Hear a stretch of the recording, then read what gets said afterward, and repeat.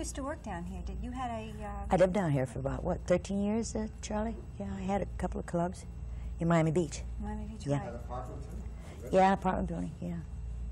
So there are a lot of beach people who remember you then. Oh, thank God. Yeah. I mean, remember you from being a neighbor, not just from television. Everybody Right, remembers yes, you. uh-huh. They were all, the whole bunch were in last night. Yeah.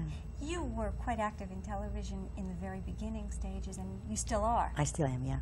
How do you compare the two? I prefer stage.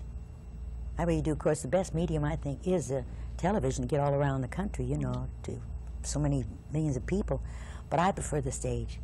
I like the immediate reaction you get, good or bad, you know, with a real audience.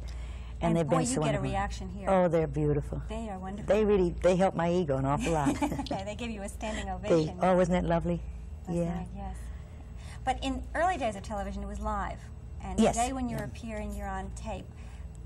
Well, some shows, like uh, the Alice show that I do, that has a live audience.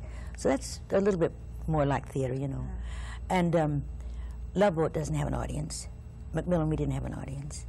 And it's harder to do your timing, especially when you do comedy, you know. It's hard to time it without a reaction from the audience. But luckily, I guess the editors and this and that of the TV series, they get along, they know how to cut it and this and that. They help us a great deal, you know. In the 50s, you made a lot of guest appearances on Milton Berle's show Mm-hmm. and a lot of other shows. Then you had your own show, Martha Raye Show. Yes, That was for about two it emanated years. from New York, no, six years. Six years. Mm-hmm. Where have you been, Susie? Time flies when you're I does it fun. though. yeah. Uh, how did you get that break so that you could get your own show? Well, through doing the Milton Berle show, I started doing a lot of guest shots on his show in '48, and through he and uh, Nick Condos, my manager, who's still my manager now, they got together and he talked to the NBC people. Berle did. He was, Yeah, he did for me to have my own show. He doesn't give off that impression of being quite that helpful. to Well, he is when he when he respects you and and and you know he's like a fan of yours and works for you so much and has you on his show so much. He'll pitch for you, and he did for me. Yeah. Yeah. That So was- this, yeah, That's yeah. great. Okay, we're back on. Okay.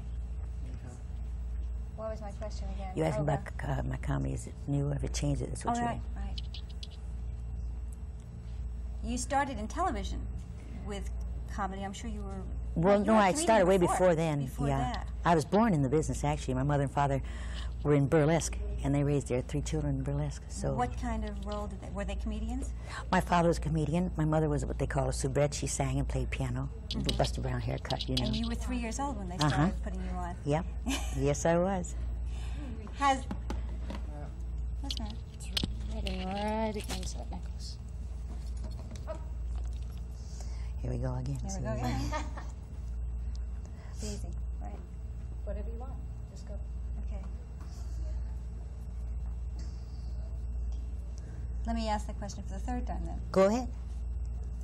Has comedy changed from the time that you started with it to today? My style of comedy? Your comedy. No, no, hasn't. I haven't changed a bit. As a matter of fact, my comedy is so old it's brand new today. Have your audiences changed? no, no, they haven't changed. I think that the people, human beings all over the world, they love to be entertained. They love to laugh. Like sit back and enjoy and forget about their own troubles, you know. And that's important all over the world, uh-huh. especially today. How about your salary? Has that changed? Oh yes, it's a lot What, better. what was it like in the early days of television? What kind Well, it, it's good money, but no, no comparison to today. You know, it's all salaries, all in the movies and TV and everything. It's all completely different. Your time's up, Miss Frank. Oh, thanks, Loge. Ta-da.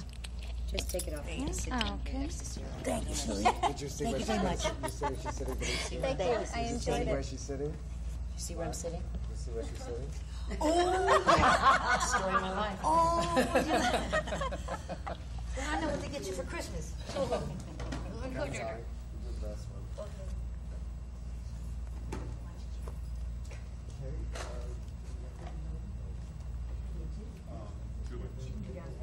Does that take one or two? That's tape three. That